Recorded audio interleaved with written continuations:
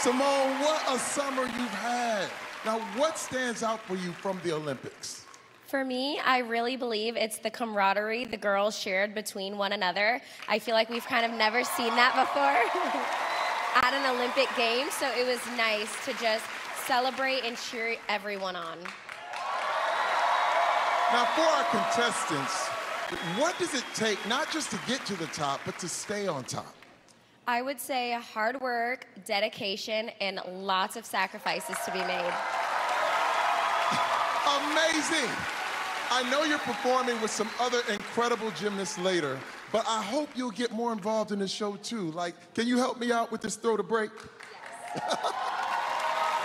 Still to come tonight, incredible performances from AGT Acts and Global Superstars. They include Michael Bublé, Andra Day, Schon, and members of Journey, Steve Aoki, and Magic Mike. And there will be a performance from stars from the Gold Over America Gymnastics Tour, featuring Jordan Chiles, Jade Carey, Paul Juda, Fred Richards, and me.